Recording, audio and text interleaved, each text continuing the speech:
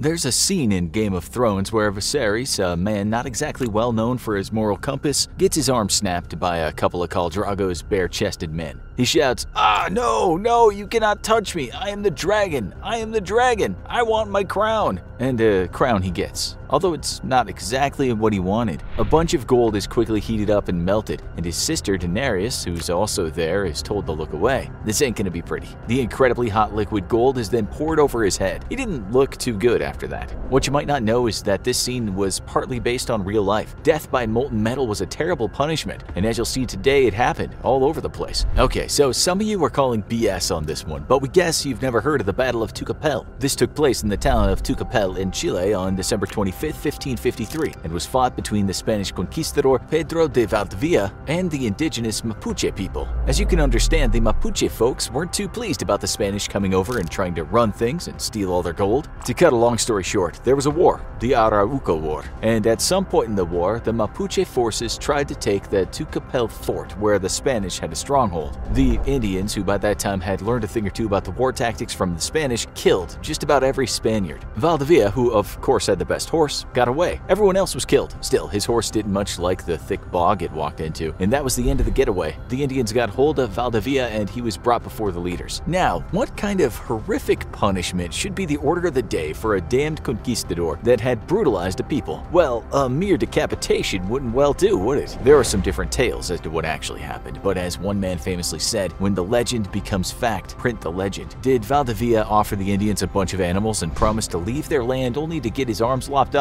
Maybe. Were those arms roasted and eaten in front of him? Perhaps. Was he tortured for three days, which ended up with him getting his heart pulled out and eaten by the Mapuche leaders? Possibly. But we'd like to believe a story told by another conquistador at the time, Pedro Mariño de Lobera, a story that was very popular in Chile in those days. It goes that since the Spanish were so desperate to have all that Chilean gold, they could bloody well have it. Well, at least some. It was melted down and given to Valdivia via his throat. Before we tell you how this would have gone down and how it might have felt, let's see if there are other instances in history of a person getting a bucket of molten gold thrown down their neck. You're in luck, viewers, because we found another story. This story is about a Roman emperor that ran things back in the mid-200s. His name was Valerian, and it said he didn't exactly root for the Christians. In fact, he demanded that the Christian clergy kill their own flock to propitiate the Roman gods. Under Valerian, just about anyone talking about one big omniscient god that created everything suffered. A Christian writer back then named Lactantius wrote about Valerian, saying that after he was roundly beaten by Shapur, the king of Persia, he was subjected to years of humiliating treatment. For one thing, he became a human footstool for the king. Let's remember that the Persians, along with the Romans, were predisposed to torturing their enemies in the most horrific ways. They invented scaphism, for God's sake, or at least according to the ancient Greeks. So, as the story goes, Valerian offered all kinds of goodies to the king for his release, but old Shapur, like the Terminator, couldn't be bargained with. The ancient Iranian already had enough gold and silver, and whatever else Valerian could offer, so instead of making a deal, he gave his people a treat. Okay, so one version says that Shapur merely flayed Valerian and had his skin stuffed with straw, so his body could sit in a temple like a very well-made piñata. There's another story that Valerian was released after some amount of tactful negotiation, but we'd like to believe the tale that he was killed by being forced to swallow molten gold. As for the person that pretty much put an end to Christian persecution in the Roman Empire, Constantine the Great, he was also said to approve of death by molten metal. He might have created some new laws that weren't quite as brutal as his predecessor's laws, but he didn't exactly embrace human rights full on. He read Christian texts, so he had a thing about sexual purity. That's why he created a new edict, one that was about slave girls and women being stolen by men. Those girls were under protection of chaperones, women called nurses, who were supposed to protect the slaves from being abducted. The law came under the raptus statutes, a word relating to seizing something without permission. This could mean forcing a slave to have sex or a bride kidnapping. Constantine had it written into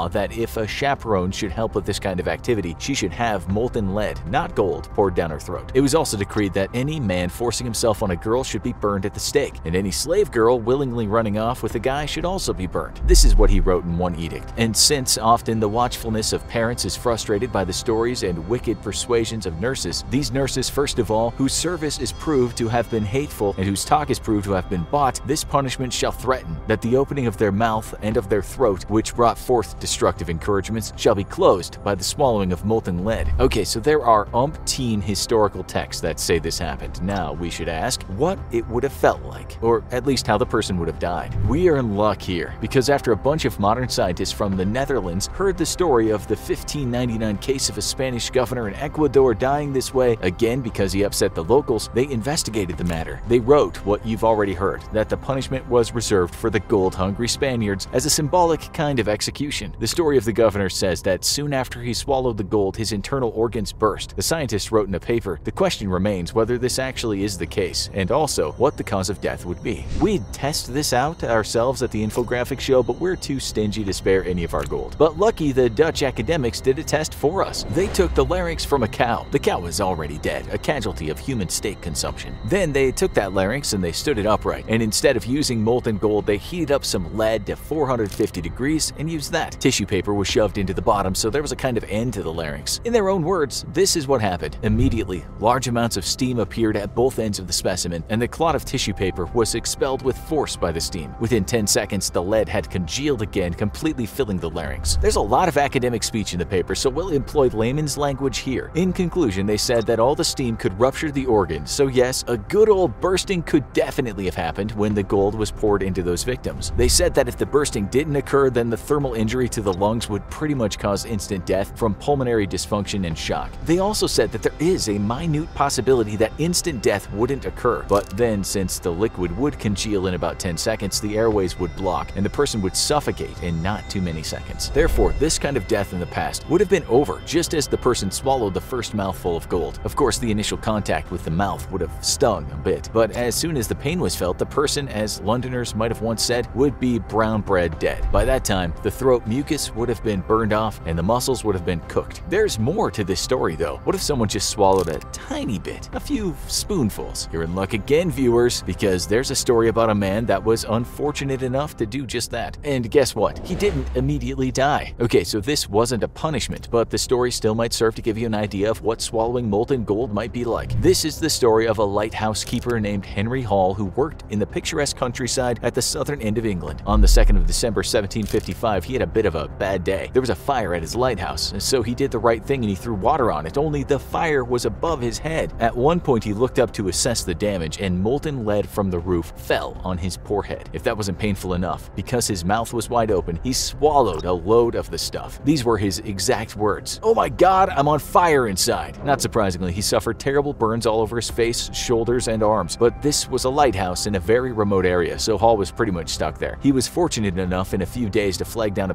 passing ship, and later Mr. Hall told a shocked Dr. Henry Spry what had happened. All this is on record, with Spry writing that Hall said, with a hoarse voice, scarce to be heard, that melted lead had run down his throat into his body. The doctor actually didn't believe Hall's story, only because he thought, like anyone would, if you swallowed molten lead, you'd be dead in a matter of seconds, or maybe hours if the serving was small. Hall was 94 at the time, which was nothing short of a miracle back in the 1700s. For the reason of old age, the doctor said Hall must have lost his mind, and that was why he was going on about swallowing lead and fires in his stomach. Spry noted that he didn't have any other symptoms beside the burns. The doctor was having none of it. A few days later, Hall was dead. The autopsy was performed given Hall's claims about what had happened. This was what was written in the report. The diaphragmatic upper mouth of the stomach greatly inflamed and ulcerated, and the tunica in the lower part of the stomach burnt, and from the great cavity of it took out a great piece of lead, which weighed exactly 7 ounces. That bit of lead in his stomach is now in a museum, and if you go to a certain pub in Plymouth today, nearby you'll see a plaque dedicated to the brave Mr. Hall. So yes, you could swallow some molten metal and survive, but you'd likely end up dying with some of the hardened stuff inside you. One thing is for sure, if those ancients did perform this kind of groovy execution, they would not be out of pocket because they could just take the hardened gold back once they'd open the guy up. For this reason and more, there's absolutely no reason to think this kind of punishment didn't exist. Was molten lead ever a real punishment outside of Constantine's God-fearing empire? Well, if you read the Old Testament, you might believe this to be true because in Leviticus 20:14, there's a part about someone being punished for having close relations with both his wife and a daughter, i.e. an incestual menage a trois. It was the Bible that probably inspired Constantine to do the same. The Holy Book says that the criminal man was first made to kneel down in a pile of dung, after which a cloth was tied around his throat. The executioners then pulled that cloth tight, so the man had no choice but to open his mouth very wide. After that, they poured in the molten lead, thus doing the right thing in the eyes of God by burning the man to death. Now you need to watch Choke